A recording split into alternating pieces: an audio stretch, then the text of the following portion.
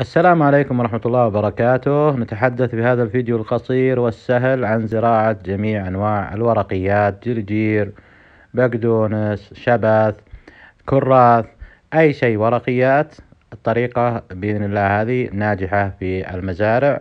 كذلك في المنازل كما نستهدف. إحنا دائما نحاول نعطي معلومات لمنازل لنحيي الزراعة المنزلية كما كان يفعل آباؤنا وأجدادنا.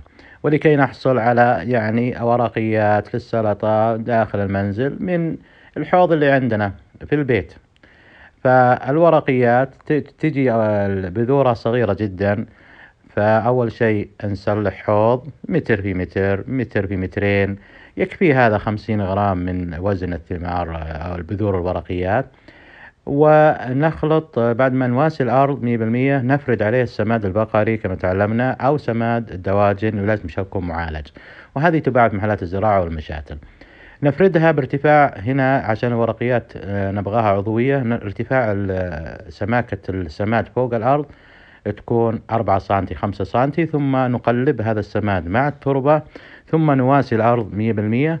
ثم بعدين نجيب البذور. إذا ما نعرف نوزعها صح نخلط معها رمل شوي نفس الكمية تقريبا بحيث تتوزع بشكل بسيط. ثم بالمشط الصغير هذا مشطه بحيث يكون عمق البذور لا يتعدى واحد سنتي. ثم نرويها رية خفيفة غير جارفة حتى ما تروح البذور علينا لآخر الحوض. ثم نستمر بالري يوميا. سوف تنبت هذه الورقيات أيا كانت جرجير بقدونس شبث كراث وما إلى ذلك. أي شيء ورقي هذه الطريقة واحدة لكلها. وهنا نشوف الكراث آه، صار عمره سنة ونص ولا يزالون يحصدون منه في هذه المزرعة. فأما الجرجير فتأخذ منه أربع حصدات ثلاث حصدات كذلك البقدونس. هذه أيضا الجزر ممكن أيضا نزرعه بنفس هذه الطريقة. بالنسبة للمواعيد تجدونها دائما في حسابنا بتويتر وغيره. شكرا.